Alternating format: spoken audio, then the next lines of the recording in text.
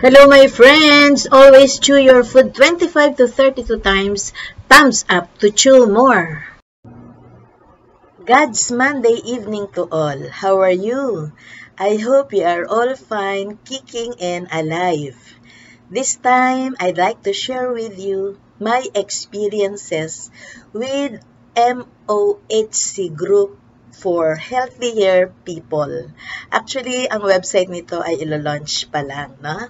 But then, because I learned uh, so much from the owner, Ma, Ma Marie Katrina, I remember the first video I uh, I watched when she was eating that as we eat our food, we also we also helping our body to be healthier.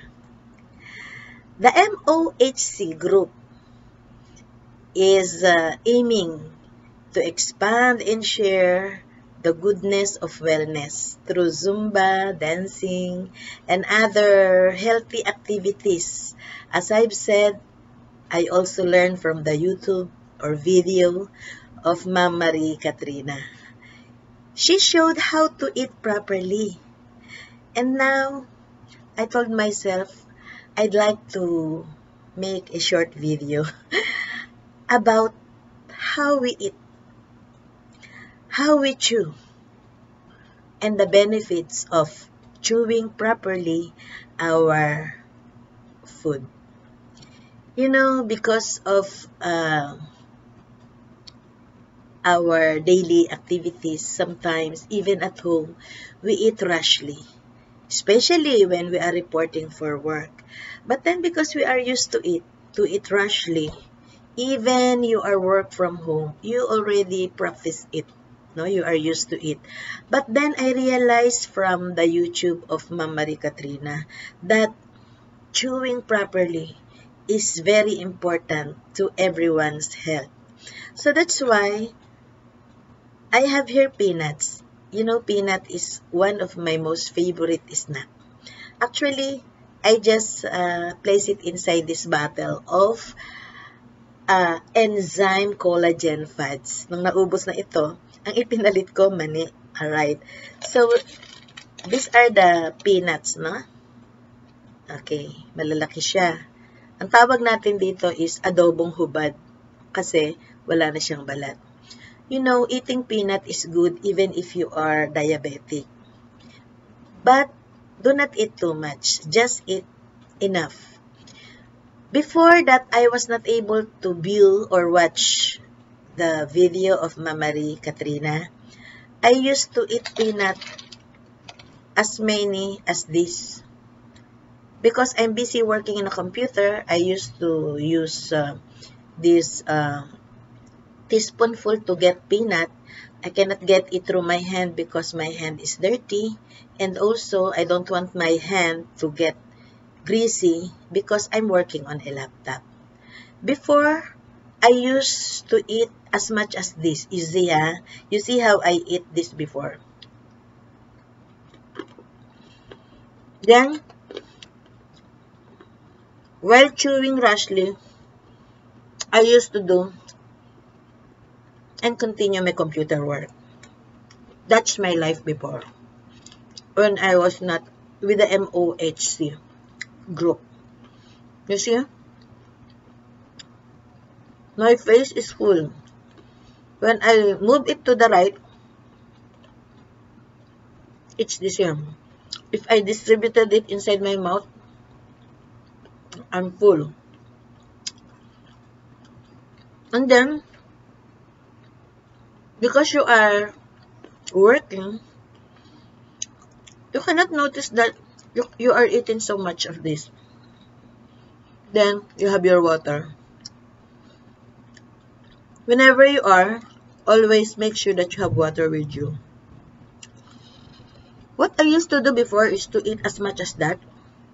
Then take water, get another one, take water. In between, the way I rush my work, the way I do my work fastly, that's the way also I eat peanut. But I learned from Mom Crescentia. Crenshaw, sorry. that eating um, properly is very important to our wellness. Of course, if we chew our food properly, we can have a good digestion. We can have a good uh, healthy system. But then I realized that she's true. Though we know that from the past years as we study health, we forget it because of our everyday work, everyday activities. After viewing that YouTube, or rather video of Ma'am Marie Katrina, I try to internalize it every day to eat properly, just enough size, and uh, I chew it properly so that uh, I can make sure that it can easily be digested. I avoid eating rashly. I avoid eating too much. I just get enough size. So now, if I was eating as much as this like what I showed you a while ago, now I realize that it is better to chew a few pieces of this, at least three. And the most important thing, the more I I enjoy the taste because I can easily okay like this uh, a size a size of uh, three pieces uh, three pieces only. Okay the more I realize that the taste is better the more I am enjoying the taste of whatever I eat like this peanut and then in the video I watch Ma'am Marie uh, was able to count by her finger just to show or just to give emphasis on the importance of taking time to chew. But you don't need to count it that way, especially when you are on public places, eating, enjoying your food, and then you chew counting like that. No, Ma'am Marie, uh, Marie Katrina uh, demonstrated it the way to count just for us to internalize that chewing, taking time to chew properly is very important. Or I'll show you how. Maybe we can enjoy uh, we can enjoy a music. If it is rock, then the faster you chew. If it is uh, slow uh, music or soft music, the slower the slowly you chew. It depends upon your mood no? Just take time to chew and enjoy the nutrients, enjoy the taste, and make sure that whatever we eat is good for our body. Because what we are what we eat. Whatever we feed to our body affects our health. I remember my diabetologist. She said that my high sugar is not caused by uh, my diet because my total cholesterol, my HDL, and triglyceride, tri triglyceride ba yun? Okay? Yung tatlo na yon lahat yun ay normal. So, sabi niya, ma'am, you try to take 2 to 3 months vacation along the beach and take a walk in the morning and afternoon without anything on your feet to correct your sugar aside from the aside from the insulin because I'm taking insulin since November 9 but I'm hoping that it will not be forever because I'm helping my health. Okay let's go going back to how we chew. Okay this is three. Let me see no how many.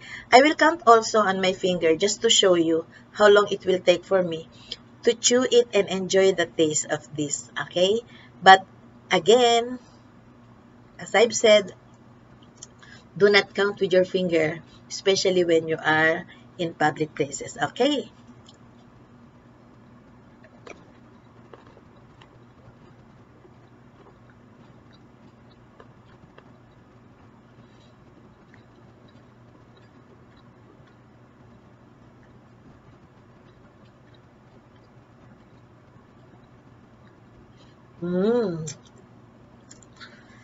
25 counts, it's very important for us to take water. So, it took me 25 counts, no? But without me realizing that it's 25 counts, it's only few. Let me try again for 4 minutes, no? It's, uh, I'll count for how many minutes. So, we can at least estimate how long it will take you to chew. Ah, ito naman. Okay. Let us have this one. This is what we call the adobo. Alright. Just a few pieces also. Because these are smaller, 1, 2, 3, 4, it's 5. Actually, I like this better than the other one. The more I am enjoying the taste of this uh, peanut with uh, coat. This is adobo and this is spicy because I want spicy food. Okay, let's uh, let me count if it how many minutes or seconds.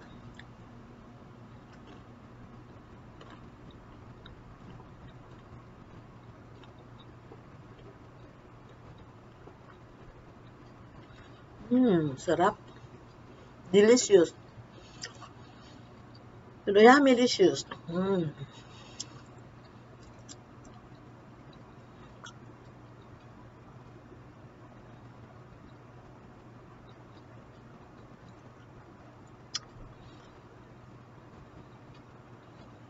Two minutes?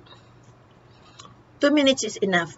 So, it will not take you too long to chew your food properly. Another try.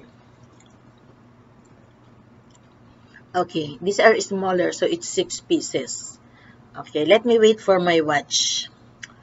So, we will see if it is really two minutes. Let me try if I can make it one minute totally chewed, no? Totally uh, grinded. so, let me see. Ayan. Mm -hmm. Sarap. Mm. Mm.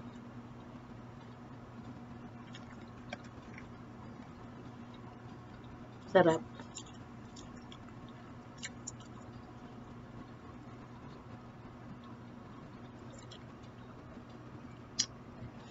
Hmm. To be more accurate, it's one minute. I can chew it properly in a minute. But then, you may ask, how about those uh, without teeth? Oh my God, for those elder, for those eldest family members, if they want it, uh, you can grind it, na? You can make it, uh, you, can break it into smaller pieces by the use of a machine or maybe uh, what we call that uh, almires. Ayan. In the provinces, we call it almires. But in the city, we have lot of uh, things that we can do to make it broken into pieces. Okay, so what is the important learning we have today? I'll close it because I'm enjoying it and uh, I'm afraid that I will be eating so much. Alright, this is uh, airtight. So, uh, an ant or ants, group of ants cannot penetrate. And it is safe also, no? It is not easily broken. So, when I use this, no? I was given a gift. Actually, these are three. I received it from a friend. I enjoy the content. And then because I like the container, I did not throw it. And I thought of making it uh, a keeper of my favorite nuts. So, guys, what I want you to remember with my video, share with you, is that number one, it is good to invest for our health.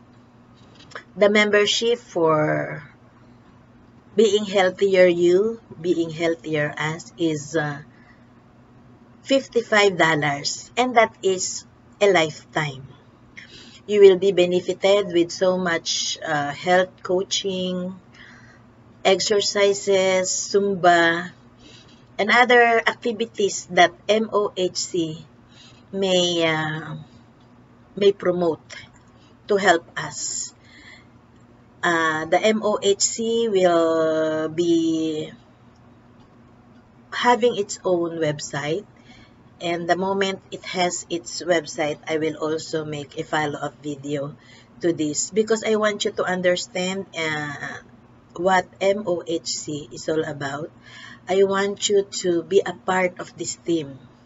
You know, the owner, Ma'am Marie Katrina, placed five people under my name. And because of that, I am benefited with four months online Zumba with famous group and people. But I never started yet. Maybe this week, this week, I'm targeting it tomorrow night, no, 6.30 p.m. or 7 p.m. I will look at my schedule because one of the benefits for my $55 uh, membership for lifetime, my first um, benefit is the four months free Zumba. I have the link already. The only problem is my time. But I'm going to cope with their schedule. Of course, I cannot ask them to make a schedule favorable to me. So I'll access on evening uh, Zumba. So it's time for me to move like that.